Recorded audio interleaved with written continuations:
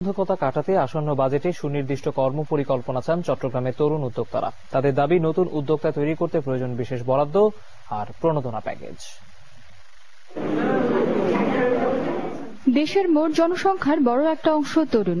শিক্ষাজীবন শেষে যাদের বেশিরভাগই ঝুঁকে পড়ে চাকরির দিকে। অথচ এদেরকে উদ্যোক্তা হিসেবে তৈরি করা গেলে পাল্টে যেতে পারে অর্থনৈতিক চেহারা।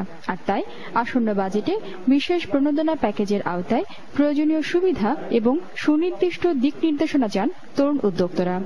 সরকারি রিলেটেড কাগজপত্র দেওয়ার ক্ষেত্রে বা নেয়ার ক্ষেত্রে যা যা করণীয় সেগুলো যদি কোনো প্যাকেজের মাধ্যমে এনে করা হয় তাহলে আমি মনে করি একজন তরুণ উদ্যোক্তার ব্যবসা শুরু করে ব্যবসা প্রসারিত করতে তেমন আমার মনে হয় না তেমন কোনো একটা কষ্ট হবে।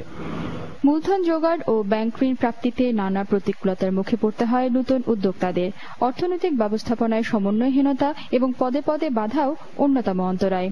আমার শুরুটাতেই যদি আমি বাধাগ্রস্ত হই, তখন হবে কি মানে হতাশা নিয়ে আমাকে ফেরত চলে যেতে হবে। মনে হবে যে না, ব্যবসা না করি।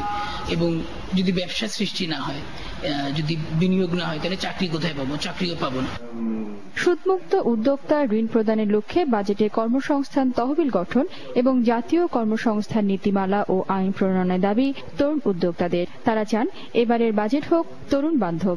তরুণ যে একটা বিশাল জনগোষ্ঠী আমাদের কাছে আছে এই জনগোষ্ঠীকে যদি আমরা এখন কাজে লাগাতে না পারি তাহলে আগামী বিশ বছর পর আমরা ইকোনমিতে ভালো ইম্প্যাক্ট পাবো না।